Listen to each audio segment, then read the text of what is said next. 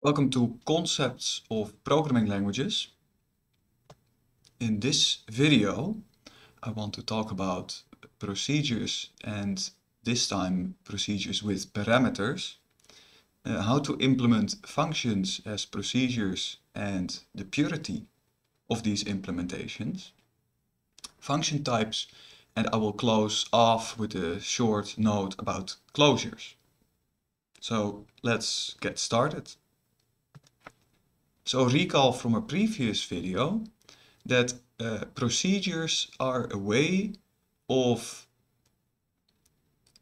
putting in a program uh, an abstraction, eh, a procedure declaration that allows you to execute the same sequence of commands but in a different context.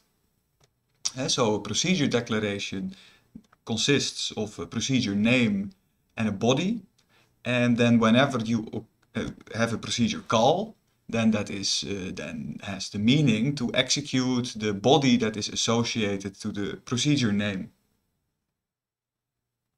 Now, we also have seen in a previous video uh, the notion of an early exit, eh? that you can uh, return from a procedure before reaching the end of the sequence of commands, eh? before you uh, end the body. So now in this video let's look at uh, procedures with parameters. And so th this example by the way here uh, shows a procedure without parameters. Uh, so what does it do? It's a procedure declaration of procedure with the name p and it has the body that consists of these commands. If x and x here is not a local variable, eh? so it depends on the context so most likely there must be some global variable x. Uh, if that is bigger than 10, then you have the early exit. Uh, and otherwise you perform this side effect, where you modify the global variable x and then you recurse because you call the procedure p again in its own body. Now, if we now want to use uh, parameters, that means that we can call a procedure but supply it with uh, different arguments. This allows you to further abstract away code that occurs in multiple places. If you have uh, multiple pieces of code that look a lot like each other, but you can abstract away from them um, their differences in a, in a, in a, in a parameter, then uh, this allows you to write your code in a more concise manner. So that is the reason why you would want to parameterize a procedure. So the procedure declarations for dealing with parameters uh, additionally um, contain formal parameters. These are called formal parameters. Uh, these parameters are declared and part of the declaration declaration of the procedure. Now, at the site where you perform the procedure call, uh, you could supply arguments, and these are also known as actual parameters. Hey, these are the parameters of the procedure call as they happen at that point. Uh, so to revisit the previous example without uh, our, uh, without parameters, uh, now consider this procedure where we have declared the formal parameter x no longer this x and this x is a global variable, you could understand these procedure parameters as local variables. So they're local to the procedure. In that sense also their name does not matter. Uh, you could rename this x and this x and this x into say a y and then it would have the same meaning. The meaning of this procedure with the parameter x is the same as the previous example uh, namely, we check whether x is bigger than 10 and then return early.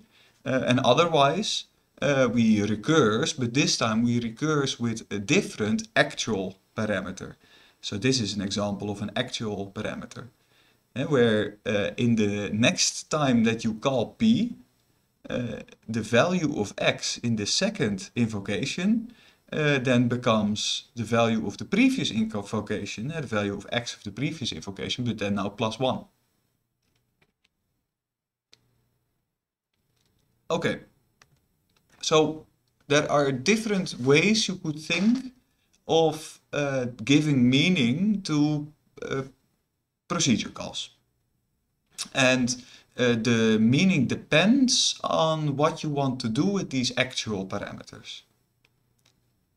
So there are the following parameter passing mechanisms. That is a mechanism that allows you to pass the actual parameter in, in the context of the procedure declaration. So one pass, uh, parameter passing uh, mechanism is uh, call by value. And this is a parameter passing mechanism that is used by a lot of programming languages. The meaning of call by value is then determined, and the meaning of a procedure call is determined by first fully evaluating the formal, sorry, the actual parameters to the call until you obtain values. And then these values are supplied in the context of the call. And so it is always the case in call by value that uh, the expressions that you supply as actual parameters are fully evaluated in the context of where the call occurs.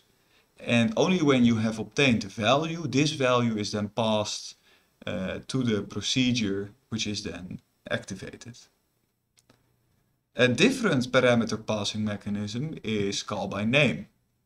In call by name, uh, you could better understand that the actual parameters are supplied as is in the context of the call. So they will not be evaluated at the point where the call happens, but they will be evaluated now in a deeper context, namely that of the body of the procedure. And later on I will give you an example of this call by value, call by name to make uh, these concepts a bit more clear. Uh, the idea of call by name is that uh, the, to give meaning to a procedure call, uh, you could think of as the procedure call to be substituted by the declared body of the procedure, but now where all the formal parameters are substituted by the corresponding actual parameters. There are also different parameter passing mechanisms, such as call by need, call by reference, call by result, etc. Uh, essentially, uh, these different uh, parameter passing mechanisms all boil down to a, variant of either call by value or the call by name uh, parameter passing mechanism, uh, but they restrict what are the potential or the possible actual parameters or where formal parameters inside the procedure body may occur. And by restricting these occurrences eh, of the formal parameters or by restricting what can be an actual parameter, uh, the implementation of programming languages uh, can become more efficient. So, but we will focus mostly on call by value or call by name in this video. Um, now, it's interesting also to think of um, orthogonal to call by value or call by name, uh, what is called the evaluation strategy. Uh, when are these uh, expressions you supply as formal, uh, sorry, as actual uh, parameters um, evaluated? Now, if you talk about uh, an eager evaluation strategy, you prefer that the expressions you supply as actual parameters are evaluated as soon as possible, eh, as eager as possible. On the other hand, you also have a lazy uh, evaluation strategy. And uh, this uh, could mean that although you have supplied an expression, Eh, you do not yet evaluate that expression, eh, but you delay it until it is necessary. So some programming languages make uh, different choices. It might be interesting for you to maybe search online for different programming languages and try to figure out whether their parameter passing mechanism is lazy or eager and whether a programming language makes use of call by value or call by name or one of the others that I have listed on this slide. Okay, so an example of a call by value Here you see a global variable z with the value, initial value 3, and a procedure declaration R with two formal parameters named x and y. Now the procedure body of R consists of an if statement and if the condition is true then we recurse and perform a procedure called R recursively and otherwise we modify the global variable z. So if you now think of on the outer context uh, calling procedure R but now with the expressions uh, z plus 10 and z as actual parameters, then uh, each of the expressions that are listed correspond uh, position-wise to the formal parameters as declared. Uh, it is typically an error whenever you supply more arguments, uh, more formal of actual parameters, than that those you have formally declared. So in this case, the call by values passing mechanism requires you first to evaluate the expressions of the actual parameters into values. So we here have z plus 10 and that is not yet a value, uh, but the value of that expression is 13 and the value of the second expression is 3. So we could understand this call as if we have performed the call R with the for with the actual parameters 13 and uh, 3. Now uh, the value 13 is then supplied for the formal parameter x and the value 3 is supplied for the formal parameter y. And then we could understand this call by executing the body with that assignment. So then we could understand, okay, well then now here we, for x we have the value 13 and 13 is indeed bigger than or equal to 3. So that means that we perform a recursion. Uh, and in the recursive call, uh, we have 13 minus 3, which is then 10. So then a new procedure activation occurs, um, where this time x has assigned the value 10 and y still has the value 3. And this keeps on going uh, until at some point you will reach the case where x uh, becomes uh, 1. Because 10, 13 minus 3 is 10, 10 minus 3 is, uh, is 7, 7 minus uh, 3 is 4, 4 minus 3 is 1. And then in that case we will reach uh, the else part of the if command. in which we change the global variable z to have the value at that point, at that invocation, the value of x, which is then at that point 1. So the result of this, uh, of calling rz plus 10 z, uh, would basically be the same as uh, assigning z to 1. Now, another example, but now this time with a different parameter passing mechanism, is uh, the call, uh, using the call by name mechanism. Uh, look at this example. We have a global variable z and we have a procedure declaration q with uh, two formal parameters x and y. And the body consists of these two commands. Uh, um, the first one is a local variable declaration. It's not formally a command. Um, but then the, the actual command in the body is this assignment. So consider what happens if on the outer level we would perform the call q z++ for the first uh, actual parameter and z for the second actual parameter. So in call by name, we do not evaluate these expressions to their value. Instead, uh, we give meaning to the call by thinking of replacing the call by the body of the procedure uh, but then with the formal parameters substituted by their actual parameters. So how would that look like? Well, you could observe that we have already here declared a local variable z. And if we would naively substitute x here with, for instance, z and z++, eh, um, then these would be captured by the local variable declaration. And we want to avoid such capture. So the intention of a local variable uh, is that uh, the meaning of the program should remain the same even if we change the name of local variables. So in this case, if we changed z to z prime, then this procedure would have the same meaning. So we could do that and then we can perform a capture avoiding substitution.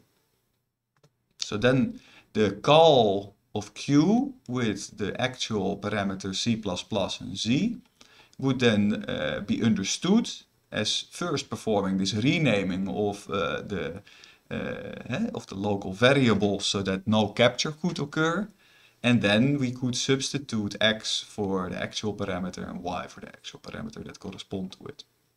And then we obtain the following block. Well, and if you uh, would evaluate that block, then uh, that would amount to uh, assigning the value 4 to the global variable z. To see why that is, uh, consider that z++ as a value has the value 10, because that was the initial value of the global variable z. As a side effect, z now becomes 11. Uh, then we evaluate, I, I assume here an evaluation order from the left to the right. Uh, then we evaluate the, the right-hand side of the minus operator. it has the value 11, and as a side effect, z becomes 12. Now 10 minus 11 is minus 1, and minus 1 plus 5, that is the value of the local variable z prime here, uh, is, uh, of course, 4. So then 4 would be assigned to z, and these effects that the side effect, uh, uh, the, the, side effectful expressions here have, is basically uh, uh, overwritten by this outer assignment. So that, that's why we then obtain z is 4 at the end. Okay, so that's an example of call by name. Um, so we have seen now call by value, an example, and the idea with call by value is that you, before you perform the call of a procedure, want to know what are the values of my uh, actual parameters. Um, and then uh, I want to uh, perform the call itself. Uh, in the case of call by name, uh, we have to perform a substitution. Uh, we replace call by the body of the procedure. Uh, and whenever we do the substitution, we do so in a capture avoiding manner. Okay. So, is it now also possible to have procedures for which, for each of the parameters, eh, the, you use a different parameter passing mechanism. So per parameter you could say, I want for instance this parameter to be performed call by value and I want say that other parameter to be performed in uh, call by name uh, fashion. Yes, that is possible and uh, this is typically then known as uh, input parameters. The input parameters are understood as parameters for which you perform uh, call by value passing mechanism. Uh, and you also have the output parameters. And the output parameters can be understood as a particular form of call by name, which is called call by result, where um, instead of having complicated actual parameters, so complex expressions, uh, the only expressions allowed as actual parameters are just variable names. And the actual assignment uh, to these uh, output parameters is all delayed until the procedure returns. And that is the call by result uh, parameter passing mechanism. Um, but for simplicity, you could think of call by result as a, as a limited form uh, of call by name. Now, if you have input and output parameters, um, how would an example look like? Well, let, let's look at this example. I now use a semicolon to separate the formal parameters. The formal parameters on the left are the input parameters. And these are all uh, supplied in a call by value manner. And the parameters, the formal parameters on the right of the semicolon uh, are the, the call by result uh, parameters. So you could understand uh, those parameters as output. So suppose you would then call R. Well, then um, previous time, uh, we have seen that there was an assignment to a global variable. By, but, but by having an output parameter, it's no longer needed to refer to this global vari variable, but we can instead refer to our output parameter with the name z. Uh, but whenever we perform the recursive call, we have to supply the output parameter all the way down in all the recursive invocations of the procedure. So now that you have seen that uh, there, uh, we have different ways of passing parameters, and we could even choose per parameter uh, what what is our what is the way in which we want to uh, give the the call meaning. Uh, we can now understand uh, functions to be implemented by procedures whenever you have a procedure with uh, zero or more input parameters, which correspond to the arity of your function, and exactly one output parameter, which is the result of the function. And so typically, whenever you now perform a call to this function, uh, you would then call uh, the, or you would give instead of talking about uh, uh, actual parameters in the context of these functions, you would say, eh, I supply the functions with a number of arguments. And so implicitly there, whenever you supply these functions with arguments, uh, implicitly you assume that uh, the expressions you have used as actual parameters to these functions are uh, supplied in a call by value manner. And so the evaluation of these expressions happens uh, before the actual call is, uh, is happening.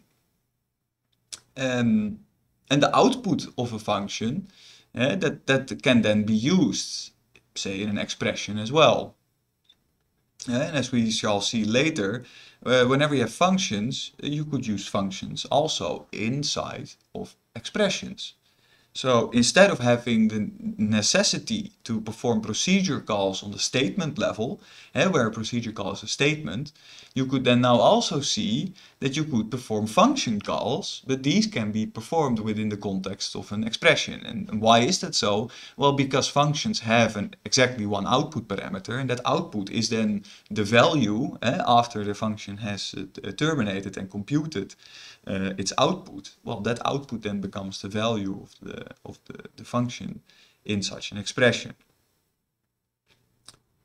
Um, now, there are different ways programming languages consider functions to be implemented uh, by procedures. So are, there are, for example, uh, the, the notions of allowing or not allowing side effects on the state. Eh? Having a global, suppose you have a global state, where you have your global variables declared, uh, is it now possible that whenever you, you evaluate a, a, function in an expression which is implemented by a procedure, that the procedure also causes a side effect? Uh, and yes, that is sometimes possible. In some programming languages you have these. And then you would call the function implemented by a procedure uh, to be impure uh, if it has side effects uh, on the state that are declared uh, on, on the state that are not captured by its parameters. Uh, but if, uh, if a, function that's implemented by procedure does not have a side effect on the state, so it only operates on its uh, arguments, so on its uh, um, supplied formal parameters, the, the, actual parameters that were computed to become values and then they were supplied in the formal parameters, um, now, uh, if, if, if all the computation within the procedure is limited to the parameters, so the outputs are supplied in the exact, eh, so in the, in the output parameter, and it only relies on the input parameters, uh, and it does not affect the state outside of that, uh, then, then you would call the, the, the function uh, implementation to be pure. Um, furthermore, you could ask yourself, is the programming language uh, requiring you to uh, guarantee that uh, functions that are implemented by procedures terminate? Well, and if that is the case, then you would call the functions in that programming language total functions. Eh? But most of the times, programming languages that, that support functions and function, function declarations and, and, and making use of functions within expressions, uh, user-defined functions, they're partial. So that means that the the computation whenever you start uh, executing a procedure that implements a function, it might uh, it might get stuck in an infinite loop. Uh, and then the function does not have an output. Eh?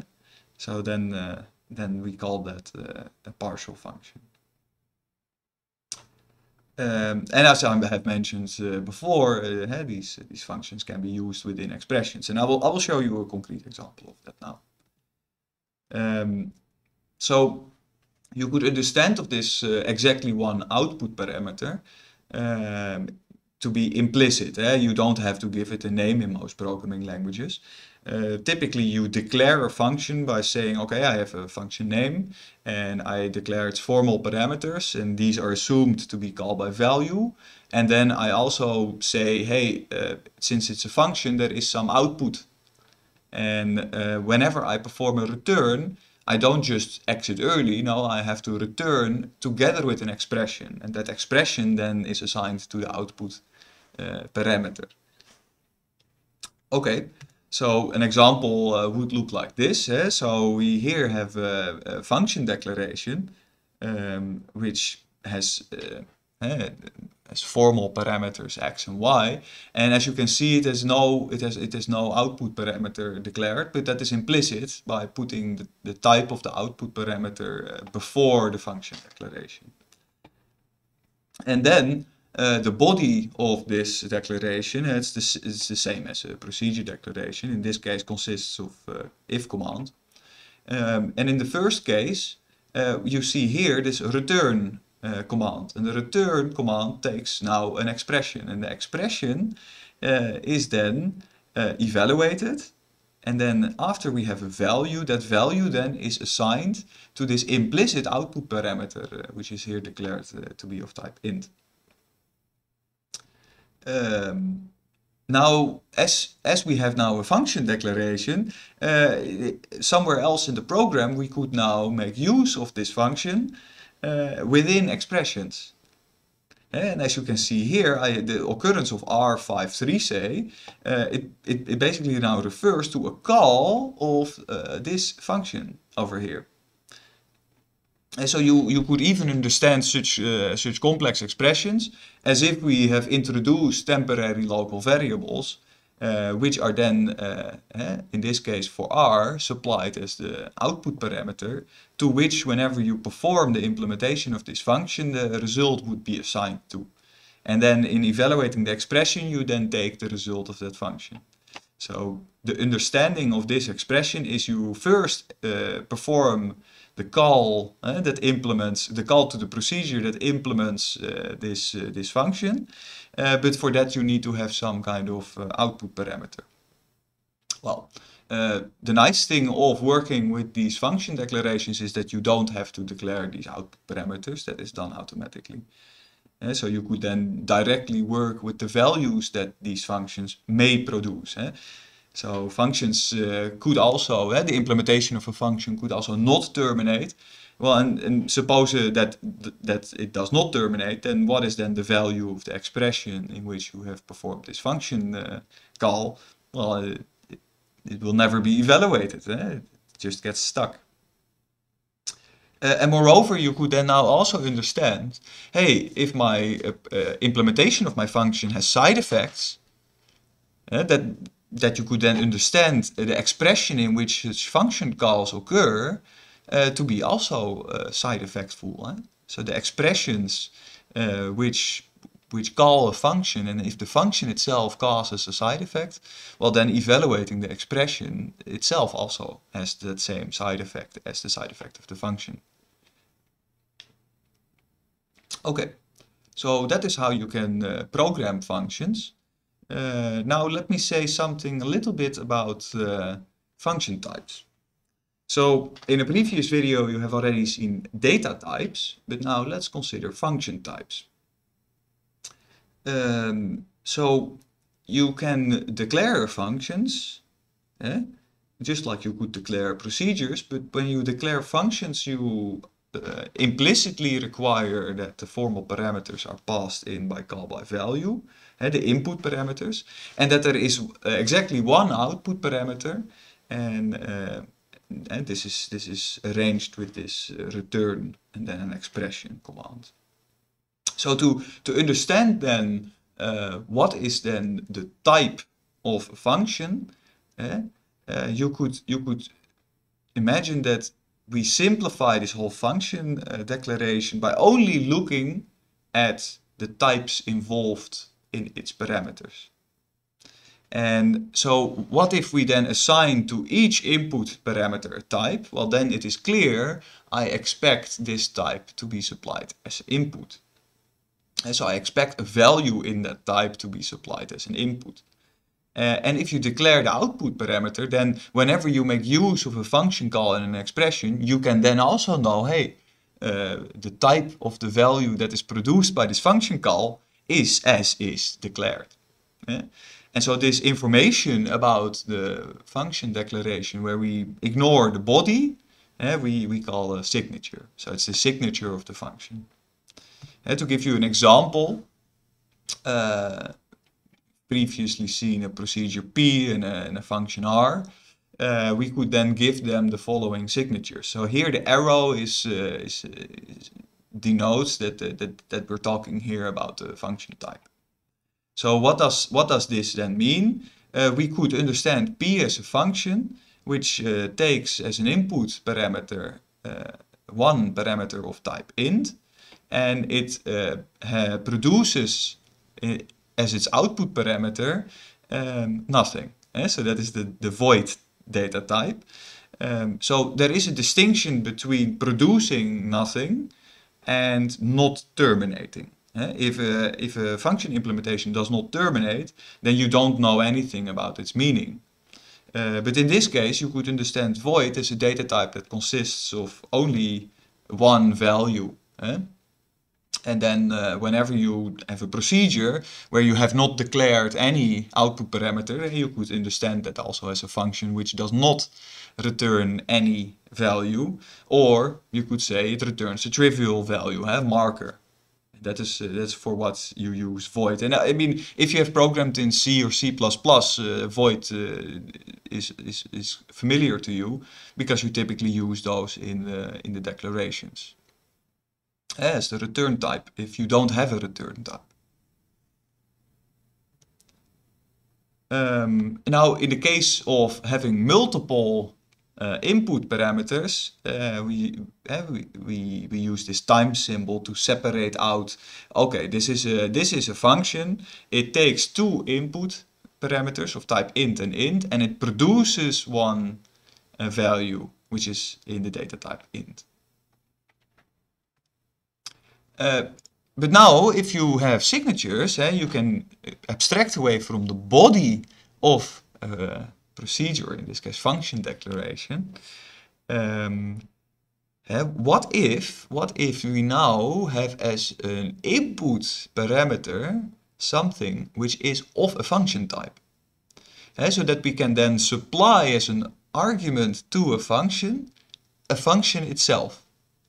And if you have seen a previous video about higher order functions, this is a way of implementing higher order functions. Um, so to make that a little bit more concrete, uh, here you see an example of a function. Uh, you see here a function declaration. Um, we use the void data type to indicate, hey, we don't return any meaningful value, only the trivial value.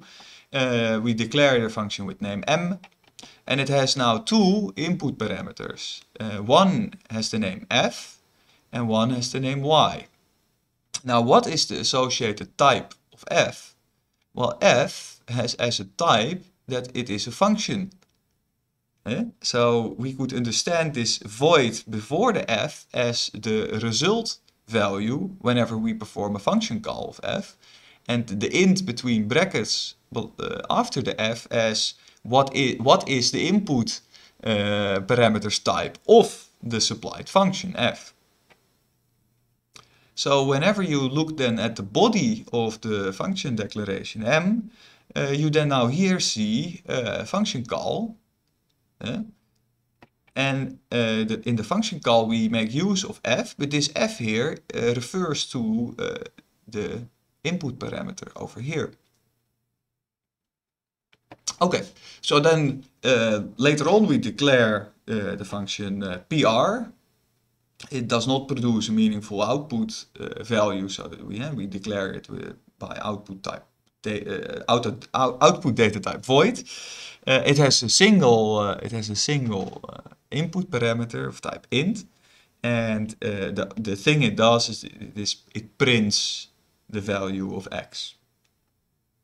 So now what happens if you try to understand the call of m in which we supply the function pr, and that's this, the function declared over here, as uh, the first uh, argument and we, we supply 5 as the second argument. Okay, so then we could understand m uh, as the call, so we enter the body of m. Uh, we know that y initially is 5, 5 is bigger than 0. Hey, and now here there is a call. But the call is with respect to f. But f here was assigned PR. So you could understand this fy as a call to PR, where uh, you supply as an argument the value of, uh, of y, which is 5. But then you decrease y, and y now becomes 4, and you perform the loop again. And now, hey, you again encounter the call to f. But f is still PR, so then now you perform PR with 4. And then you perform PR with 3, and then PR with 2, etc. And each time this PR is called, uh, we have performed this print command. So what is the expected result whenever you perform this? Uh, you would expect uh, a print of the numbers 5, 4, 3, 2, 1. Okay, so to relate this back to uh, this previous discussion about the signature of uh, functions, uh, you here see two function declarations. Yeah, so it's, it's this function declaration and this function declaration. So what are their signatures? Well, for m, um, I already explained to you, m has uh, two input parameters. Uh, and it has uh, the void, it has, it has the implicit output parameter, which has the type void. So if you look at the, the signature of M, then you can understand that on the outer level as a function type, uh, which uh, it produces something void, and it has two input parameters. So the second one is int, that's this one, but the first one itself is a function is of a function type. Uh, so that uh, the, the, the first the first input parameter, we expect it to itself be a function. And that function has as input parameter an int and it produces a value of, uh, of data type void. And now if you look at the, the, the function declaration over here of PR, well, you could then understand PR, eh? it takes one input uh, of type int and it produces something of void. So you could see, hey, this is, uh, this is a function type. Eh? The signature of PR is a function type uh, that takes one argument of type int and it produces a void. Uh, so you could now critically think of yourself, what then, if you uh, supply the input parameters always by value, and you now here give PR as an expression, what is then actually the value of that? So what is the value of a function parameter or a parameter of a function type? So that's actually quite a, a tricky question. And different programming languages implement that in different ways. I can say a little bit about that. So for instance, in a, a low-level language like C, uh, you cannot declare it like this directly, but you instead have to make use of an indirection by uh, requiring that the input parameter is a function pointer. So it is an address to a function. Uh, and what by that is meant is that the result of compiling these function declarations, hey, it, it results in executable code. And now whenever you want to refer to a function, you actually refer to the address or in memory where the code is located. So that is how a low-level language like C implements uh, these function types. Now, if you look at the different language, uh, uh, typical uh, functional programming language uh, like Lisp, then you could understand these function uh, parameters as supplying the text, eh? so the, the, the, the body. So you could then think of what is then the what is then a function type. Well, the function type, the values of the function type are all the programs that comply to the signature. Uh, so it's a subset of all programs uh, that comply to the to the given signature. So in this case, we have as a signature that we expect one input parameter and it has one output, implicit output uh, parameter void. So you could then understand uh, any program which operates on a declared input variable and then produces some value in the type void. Any such program, uh, if you take all the program texts that uh, conform to that format, well, that, that then forms all the values.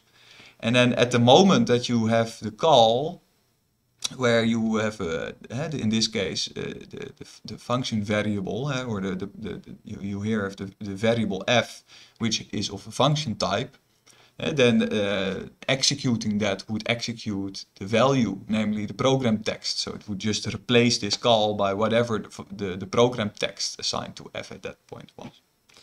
Anyway, that's, uh, that's a lot of uh, detail. But that gives you a little bit of an idea of how to how to how programming languages implement these these function types. So as a last remark, I would like to say something about closures, uh, because as soon as you have function types uh, in your programming language, um, you then may ask yourself, how can we actually construct values of these function types but then do that within the context already of a piece of program.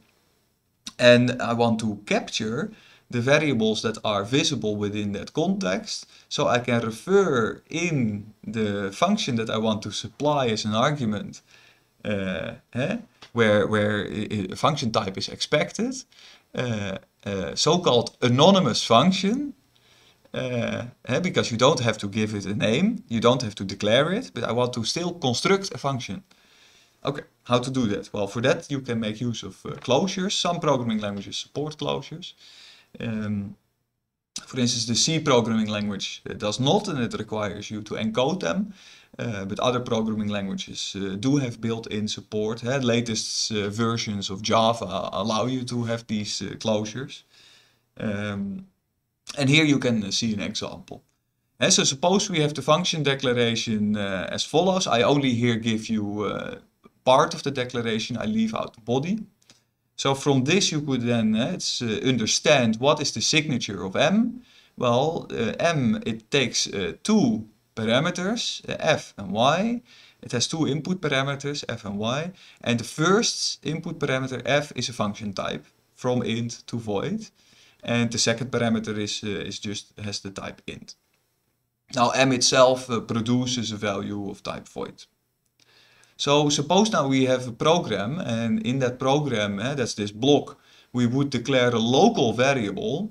Then um, if we now want to supply to m uh, some kind of function in the place of its first parameter, uh, how could we then create a function that intentionally refers to our local variable y here. Well, for that we create a closure. So here you see sort of a syntax for, for how, to, how to create a closure.